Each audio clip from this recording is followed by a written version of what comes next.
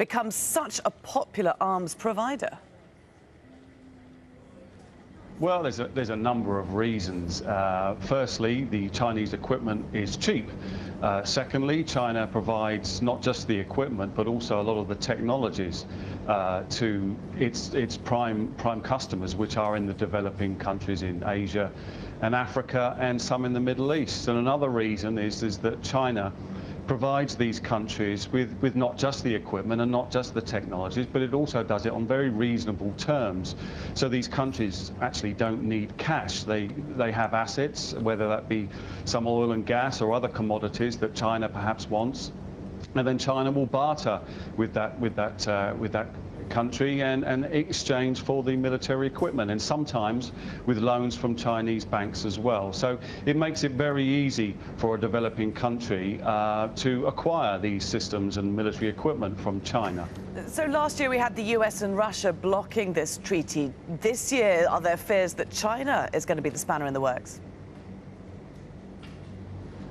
Well, I, it, it, it, could be so. I mean, China has uh, a record of um, transferring military equipment to the likes of North Korea, Syria, and Iran. And that, that, that obviously is a problem, and that obviously is what the, the treaty is designed to stop.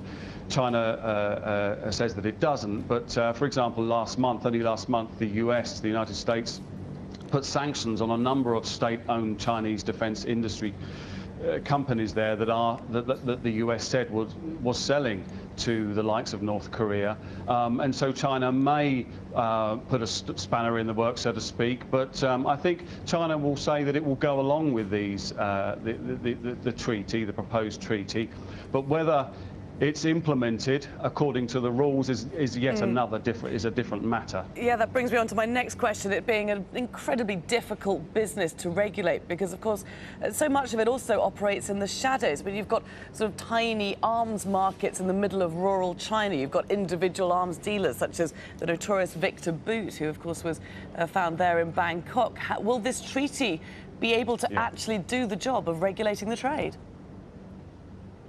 Well, um, if I'm honest, probably not. It would probably have to be, it would be very difficult for to do so. And the reason is, is because, for example, China does its military trade on a very government-to-government -government basis, and so not all, for example, not all its trade will be will be announced, and it would it would do government-to-government -government deals um, with the particular government, and often nearly in all cases, these, these, these military trade that China undertakes is not in competition with other, uh, with other countries. And so, and so therefore, the trade is very um, under the table, so to speak, and it's not, and it's not uh, recorded uh, often, and, and therefore, you know, it can only be found out when the arms have already tra been transferred um, and on, or on their way. And so therefore, it makes it very, very difficult when to, when, when China is dealing with a developing country um, or a country that, that already has sanctions imposed on it, such as North Korea, because there is no way to, to, to, to, to, introduce, to introduce laws that will be able to trace